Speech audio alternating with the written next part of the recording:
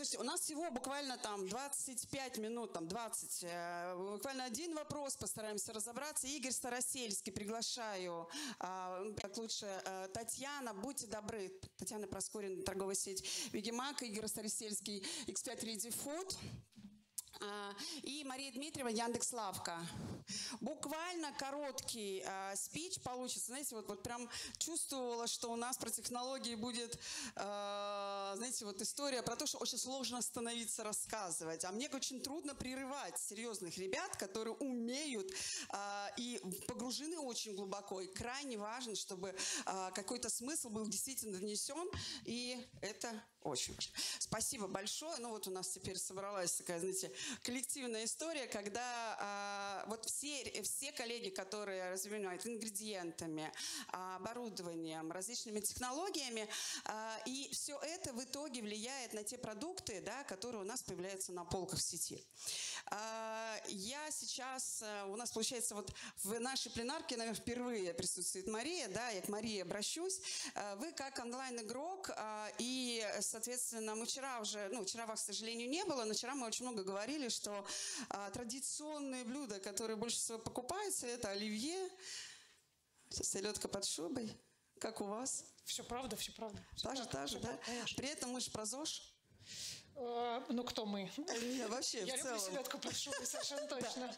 Нет, я просто к тому, что очень часто и очень много сейчас мы говорим о том, что нужно а, продукты, ну, новые товары, да, новую и готовую еду делать вроде как с, с трендом на ЗОЖ. А, и а, вот как это все правильно синхронизировать? Давайте вот так. Классика и инновации в а, создании, создании новых продуктов для коллег, э, для наших покупателей точнее. А, Что вы можете сказать как э, игрок, онлайн-игрок, да, где у вас очень важна еще история про то, какая картинка на экране, да, А, и как вы справляетесь, во что вы точно верите?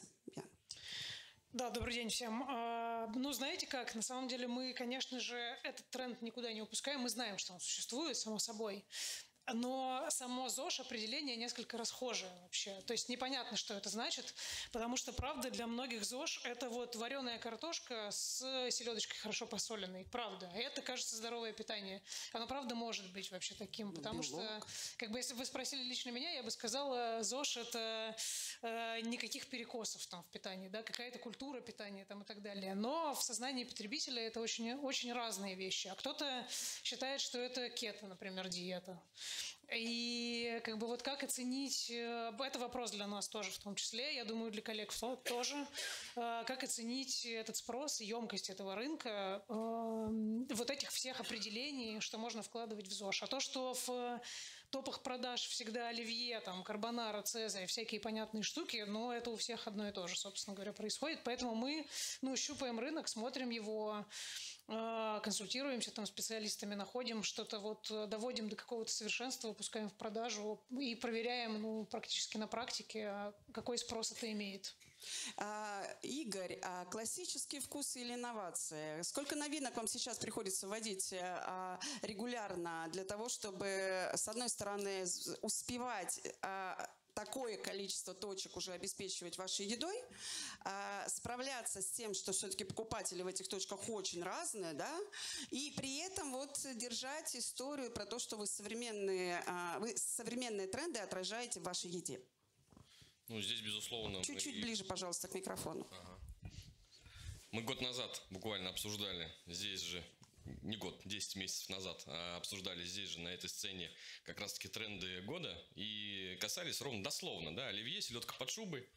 Но на тот момент мы говорили о том, что трендом являются перекусы закуски, и тренды, на мой взгляд, они продолжаются, они сохраняются, они немножко развиваются, модернизируются. Да, потребители остаются в своих целевых значениях. Э, Те, кто привыкли к оливье, они все равно свою душу отдали на века. Э, Но объем работ действительно он не уменьшается. Расширение линеек, обновление линеек продолжается, объемы исчисляются. Ну, если мы говорим про полный цикл, если мы действительно говорим про создание SKU с нуля с идеологии, то это более там, 250-300 единиц в год. А, Справляться нам помогают наши партнеры. А, Мы широко начали работать э, с партнерскими компаниями, представленными на рынке в Москве. Здесь много сидящих здесь э, лиц знакомых, в том числе и наши партнеры. Чуть позже мы на выступлении расскажем и про нас, и про них. А, мы закрываем сервис под ключ, мы создаем продукты не только на площадке собственной, мы занимаемся разработкой, в том числе вместе с нашими партнерами на их площадках, адаптируя рецептуры под их э, условия, под их процессы, под их оборудование. А объемы, да, действительно, они высокие. 300 SKU-шек – это прям с нуля. Мы не берем в расчет там, где нужно что-то взять, подкрутить. Это вот то, что взяли, придумали, э, заложили идеологию. Сначала бумага, потом цифры, потом создание, потом итог. А, Татьяна, подхватим уже региональную историю. У вас э, очень непростой регион, при этом вы там достаточно активно сейчас именно тему готовой еды. Вчера мы немножко послушали ваш кейс. Э, прошу. У вас еще нигири, насколько я знаю, взлетели, да?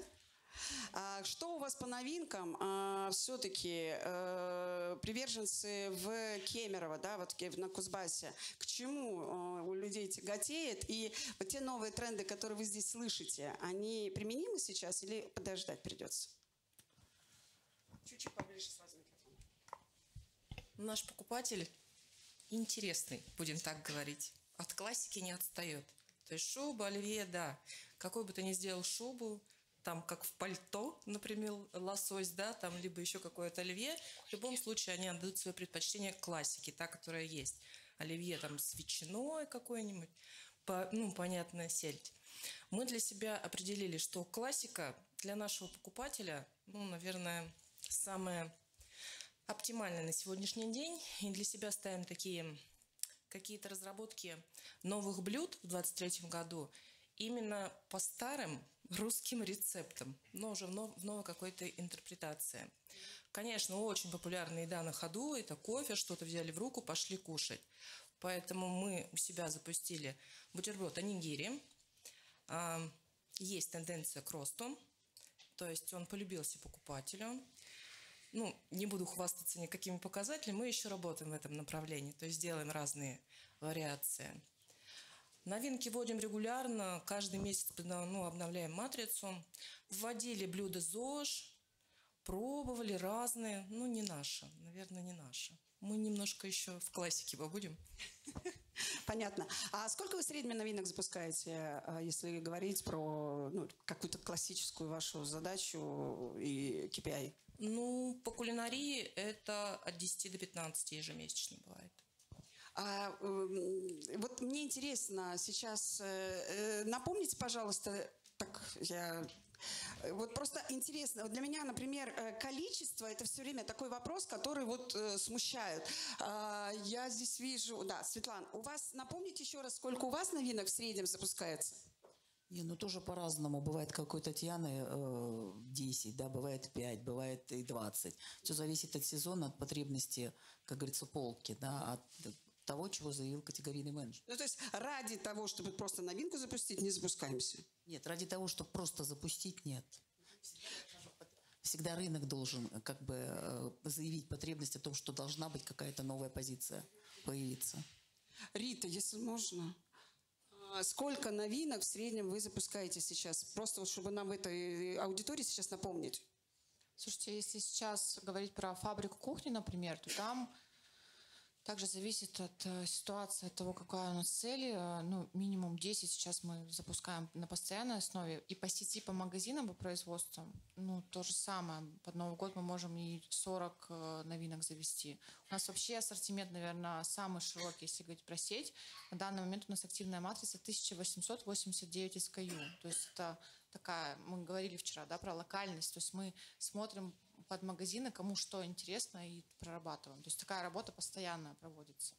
Я каждый раз от этого а, замираю. То есть у меня вот некое внутреннее замирание, потому что я понимаю, когда как потребитель а, ты все равно хочешь и не хочешь смотришь на а, то, что для тебя в целом привычно, да, то есть, ну, и новинки, кстати, вот, вот теперь, опять же, а, к вам, касаемо новинок, вот когда в онлайн формате продвигаются новинки, а, насколько сложно, легко заинтересовать людей новым продуктом, а, может быть, не очень привычным составом?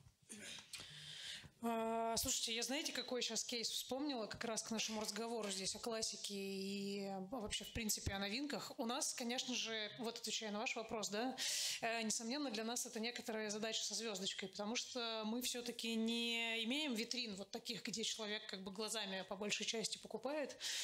А, мы имеем, собственно говоря, приложение, да, в котором надо правильно подсветить эти новинки, как бы представить и рассказать о них.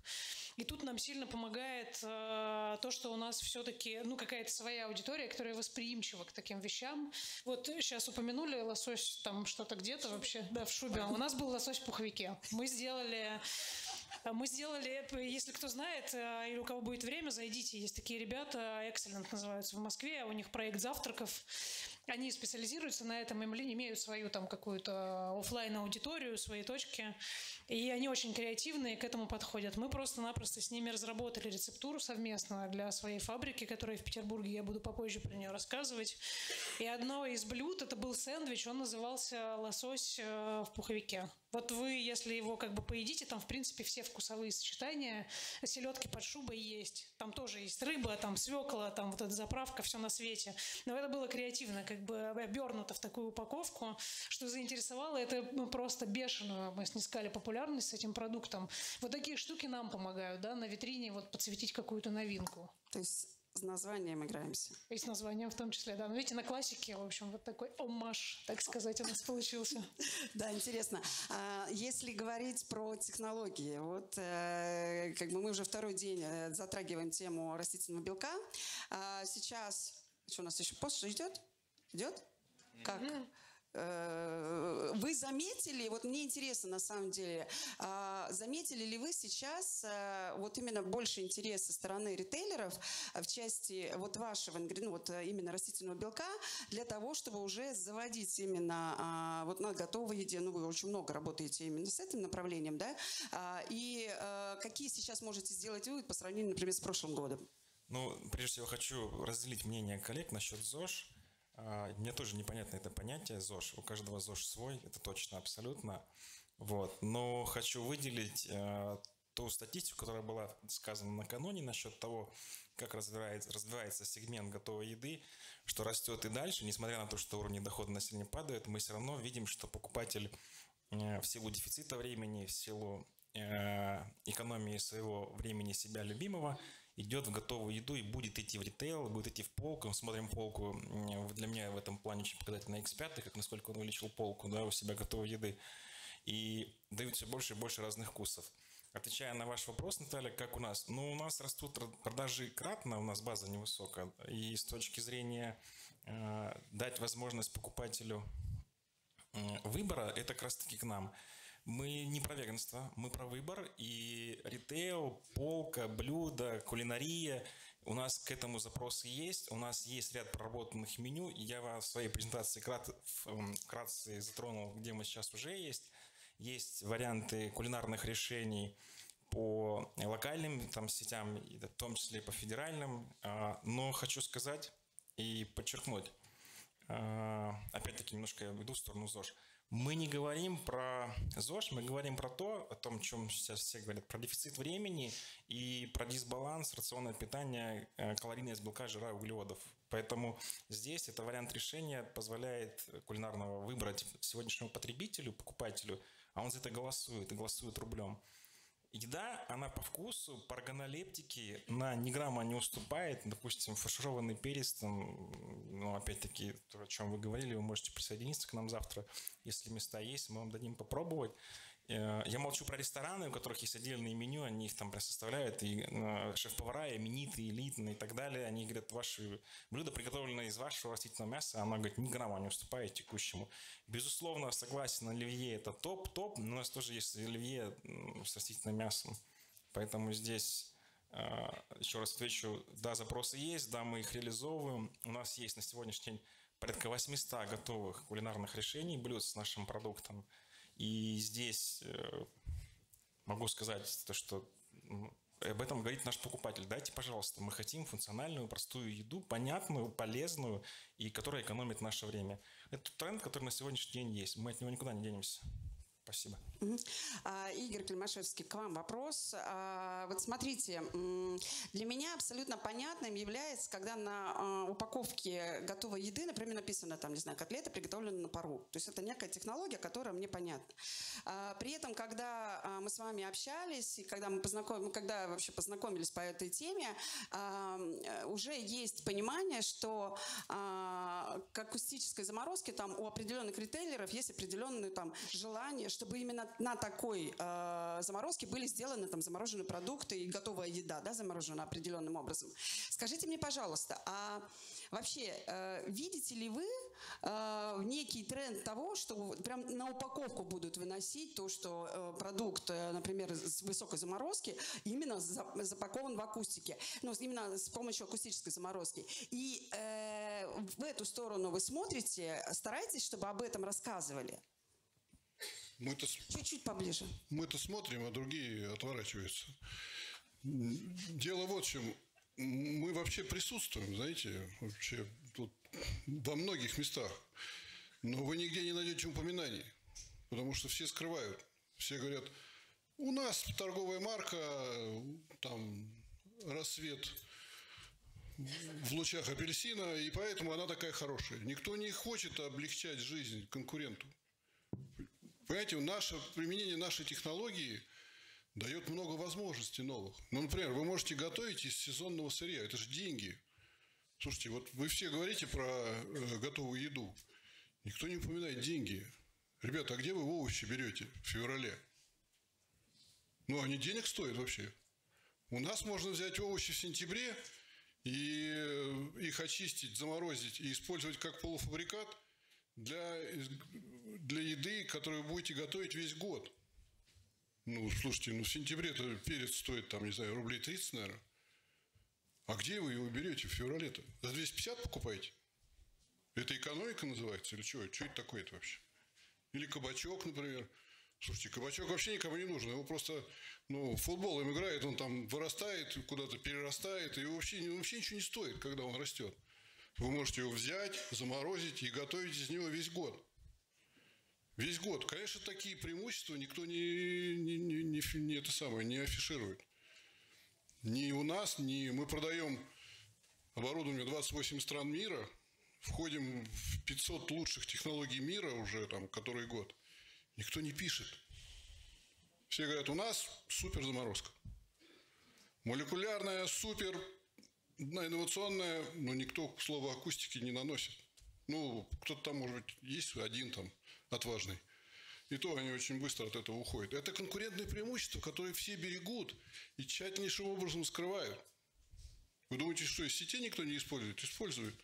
Я просто, ну, прежде чем с нами что-то делают, со мной подписывают договор кровью, чтобы я никому никогда ничего не рассказывал.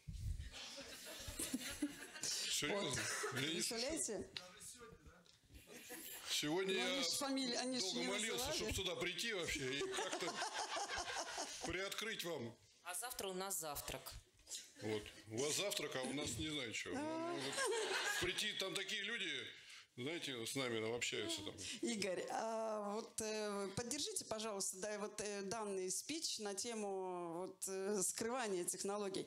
А, на самом деле, вот мне интересно, насколько серьезным образом надо образовывать э, покупателя а, и рассказывать или не рассказывать, как это сделано. В некоторых случаях же просто пугаются, вот даже газомодифицированно, э, как там, как, как, газ- Газомодифицированная среда. да, да, да, да, да, это же так страшно звучит. Слушайте, вы для чего все это делаете-то, я не пойму. Вам что, делать нечего? Вот мы тоже когда-то, когда придумали, мы считали, что мы должны всем объяснить, что у нас тут лучи, они туда, и там кристаллы, это вот, там это. Да дайте ему попробовать, если ему вкусно, он купит, и все. Зачем ему объяснять, какая технология или еще что-то такое? Если вы сделаете десерт с ягодой, ну и все. Все десерты с ягодами купят, а остальные будут покупать потом. Игорь. Человек голосует животом. Че, разве нет? А мне последнее время говорят, что кошельком. Цена-качество. Все, если у него будет вкусная еда, у него должно быть преимущество, понимаете? У нас Я бы есть, разделил на два процесса. да, у нас есть такой приятель Каркунов, который конфеты делал. Он потом продал быстро и убежал в Лос-Анджелес. И в Лос-Анджелесе у него, вы удивитесь, у него киоски шаурмы на пляже Венус, которые он морозит по нашей технологии. Он все делает акустику. Он морозит вареные пельмени.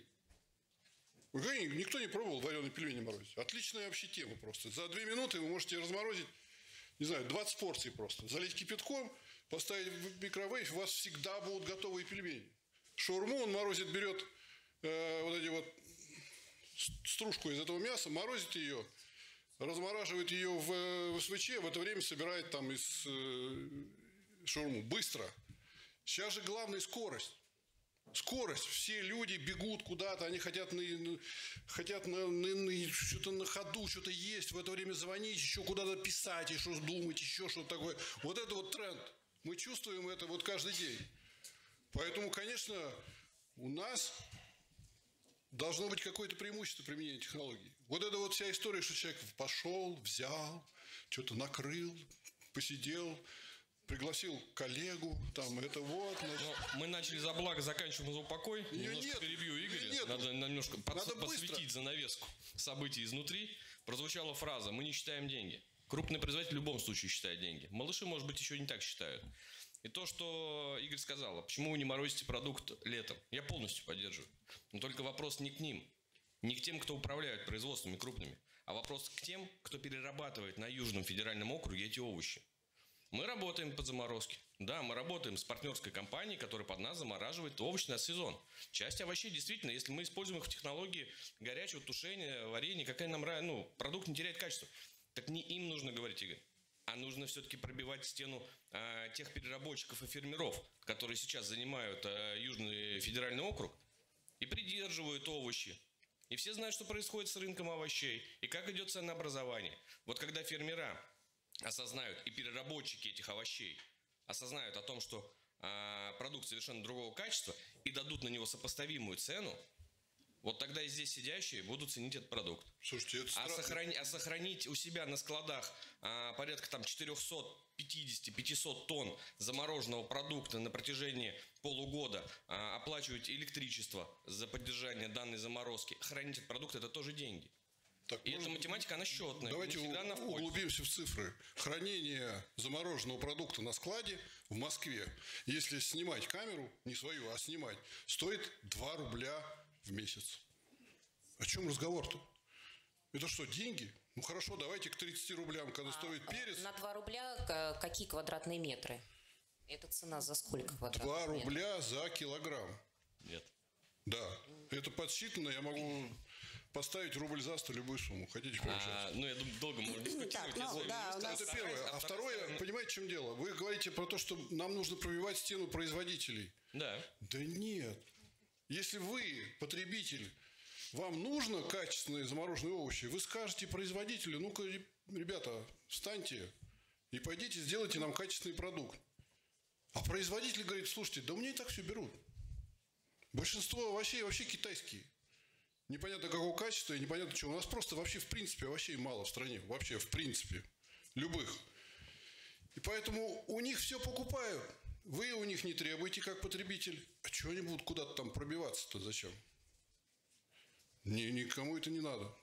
Ну, позиция сидеть и ждать, когда ко мне придут, тоже очень сложная и очень спорная. А, все-таки бизнес живет немножко по-другому.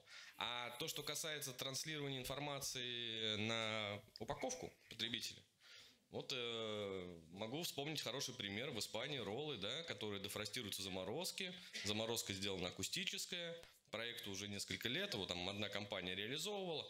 Да, Продукт изначально заморожен, продается на полке магазина в дефростированном состоянии, нигде не упоминается. А не упоминается почему?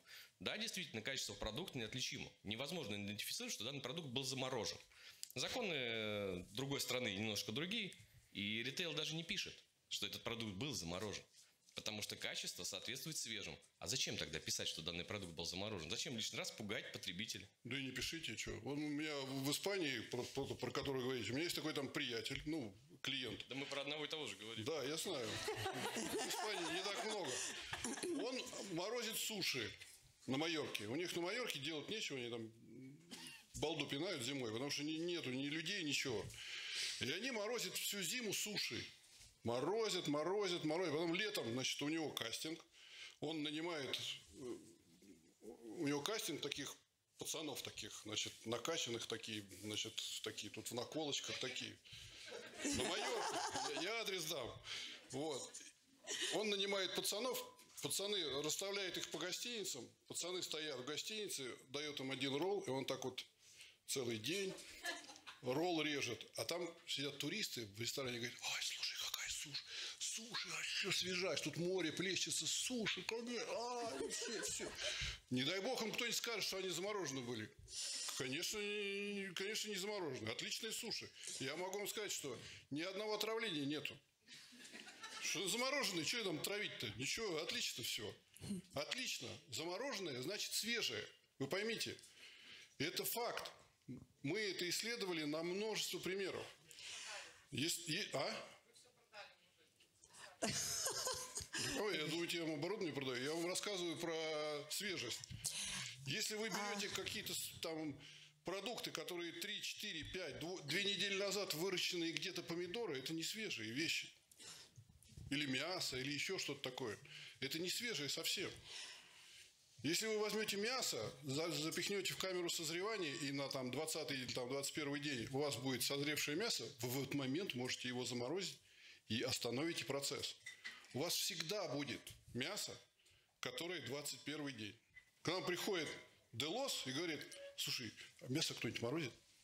Я говорю, слушай, а зачем тебе мясо-то? У тебя в ресторане Пушкин Бестрогану стоит, я даже не помню, там полторы тысячи, что ли, рублей. Там мясо этого за полторы тысячи 100 грамм, может быть.